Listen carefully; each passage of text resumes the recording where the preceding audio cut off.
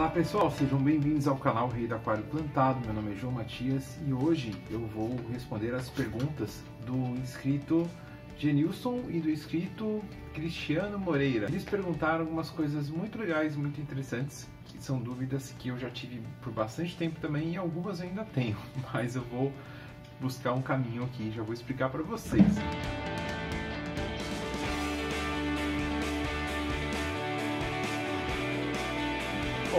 primeira pergunta do Cristiano Moreira. Ele está me perguntando se há algum cálculo específico para saber a quantidade de lumes ideal para o aquário, tá? Ah, olha, eu já fiz contato com um engenheiro eletricista que ele é professor universitário, o Bonfim. Ele tem um canal também no YouTube que ele está iniciando, ele conhece muito mesmo, assim, tem muita bagagem e ele fez um programa que explica como que se dá essa relação, como que se faz um programa que você consegue fazer um cálculo. Tá muito interessante, tá muito legal. Eu vou mostrar um pouquinho desse programa para vocês, mas eu vou deixar o link no canal. E mais legal ainda, eu tô marcando com ele de a gente fazer uma live. Vamos fazer uma live, vamos explicar isso daí direitinho, vamos falar de muitas outras coisas também, inclusive de espessura do vidro, mas eu já vou falar um pouco de espessura do vidro também, que é uma dúvida do Genilson. Já se inscreve no canal agora, já ativa o sininho já já dá um like nesse vídeo também para mais pessoas chegarem, tá? Para esse conteúdo chegar a mais pessoas e quem sabe aí nessa live tem mais pessoas também que tirem suas dúvidas, mais aquaristas, tá? Então a gente vai fazer essa live, ativa esse sininho para você saber quando chegar o momento de participar dessa live, de você ver esse conteúdo que vai ficar muito interessante, eu tenho certeza absoluta. Certeza absoluta é redundante, né? Mas vamos lá. Ah, então a pergunta agora do Genilson, tá? Ele está me perguntando se ainda se utiliza aquele cálculo que usava de quantidade de watts por litro de água do aquário, tá? Antigamente falavam, ah, se você quer um, ter um aquário de 60 litros, então você usa uma lâmpada de 60 watts. Você usa aí três lâmpadas de 20 watts, que dá 60, dá um, um watt por litro, uma coisa assim, ou meio watt por litro, tinha um cálculo assim. Olha, esse cálculo na verdade nunca foi muito bom, tá? Por quê? Porque você imagina que a iluminação está aqui no alto e eu tenho um aquário que tem 60 centímetros de altura. A iluminação não vai chegar até o fim. Então, por exemplo, a iluminação ela vai chegar muito diferente aqui no carpete, né? É, com um aquário de, de 60 centímetros de altura para um aquário de 30 centímetros de altura, né? Você vê que tem uma coisa aí que é, que é meio natural, né? Não tem como a iluminação chegar na mesma quantidade para um aquário alto do que para um aquário baixo. Sabe, entendeu o que eu quis dizer, né? Então esse cálculo na verdade nunca foi efetivo. Tem plantas que são mais exigentes quanto à luz e tem plantas que são menos exigentes. Então, se você tem uma, uma iluminação que é meio fraca, talvez seja melhor você colocar as, as plantas mais exigentes no alto. E se você tem um aquário com muitas plantas exigentes com, com relação à luz, como por exemplo aquela planta bacopa, né? Ela precisa de muita luz para ela crescer. Então você é, vai precisar de muita iluminação, ou então vai colocar essas lâmpadas mais no lugar mais alto do aquário para que a iluminação é, chegue mais forte nelas. É. Outra pergunta que ele me fez foi sobre a espessura do vidro, é sobre a montagem de aquário, se mudou alguma coisa da tabela antiga para a tabela atual. Então, é assim, eu não sei qual antigo que é essa tabela que ele está se referindo, mas ah, bem antigamente, antigamente o silicone no Brasil era mais resistente. Ah, falam que de um tempo para cá foi retirado alguns componentes da fórmula do silicone porque diziam que eles eram tóxicos, né? Porque eles poderiam ser tóxicos, então aqui no Brasil se tirou esses compostos no silicone e nosso silicone ficou um pouquinho mais frágil do que o silicone lá de fora. Então, por exemplo, nesse meu aquário aqui, que ele tem 270 litros, ele tem 120 centímetros de comprimento por 50 de profundidade por 45 de altura. É, meu aquário foi feito para ficar sem trava, ele foi feito com vidro de 12 milímetros.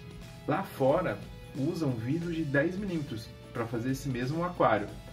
Aqui, se eu fizesse com 10 milímetros, eu teria que fazer com travas para ele poder ficar mais resistente. Eu quis fazer de 12 milímetros para fazer sem travas. E também, há quem me recomendasse ainda fazer um aquário com vidro de 15 milímetros, mas aí ficaria muito caro. Então, o que eu fiz também para evitar usar a trava e para ter um pouco mais de segurança, eu utilizei silicones de bastante qualidade, tá? E falam que as marcas que são mais utilizadas aqui, é, que é de melhor qualidade para montagem de aquário, é da Stur e da Seal Trade. Eu utilizei da Stur.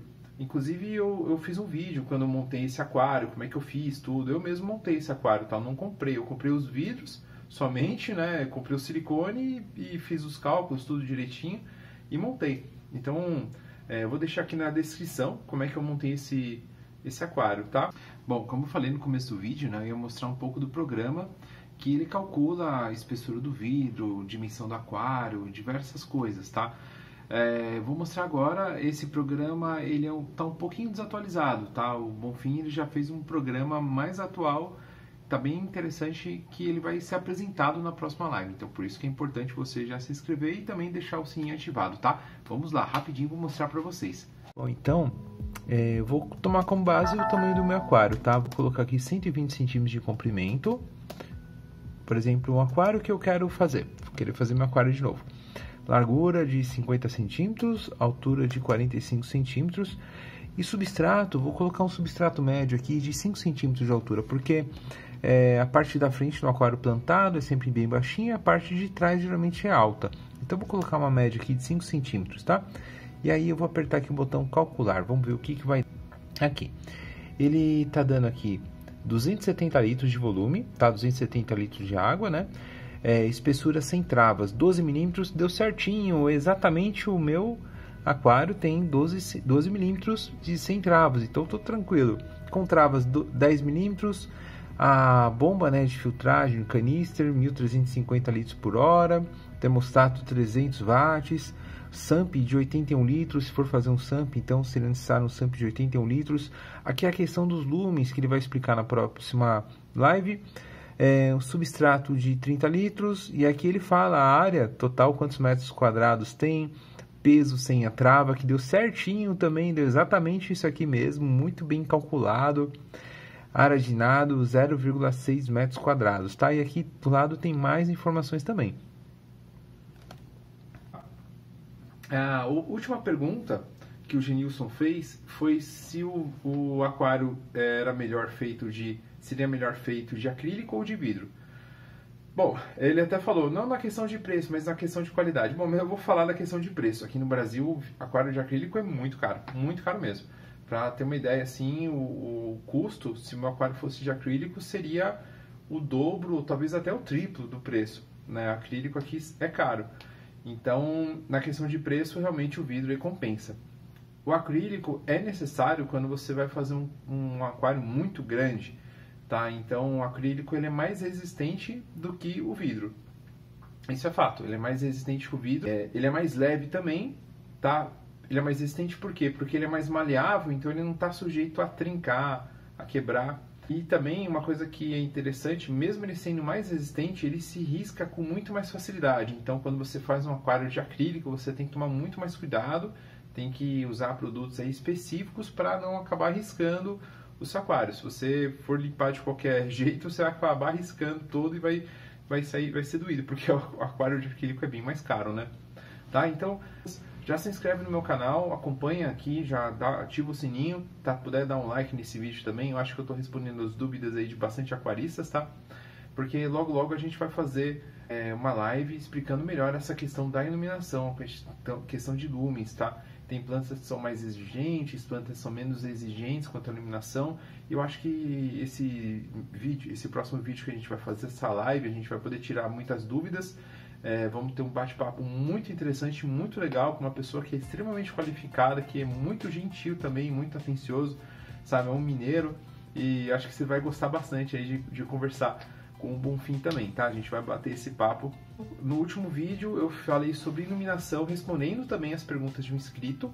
Dá uma conferida também, vou deixar aqui embaixo, tá? Eu já falei um pouquinho da como que eu fiz essa luminária aqui, como é que eu fiz para fazer esse projeto que tá dando muito certo. Eu quero que você que é inscrito no canal ou que não é inscrito, que se inscreva e que comente embaixo, perguntando, sugerindo. Um dos objetivos aqui do canal é esse, ele é de entreter e também de instruir de bater um papo, de trocar informações. Eu aprendi muito também. As pessoas que eu conheci graças a esse canal, né?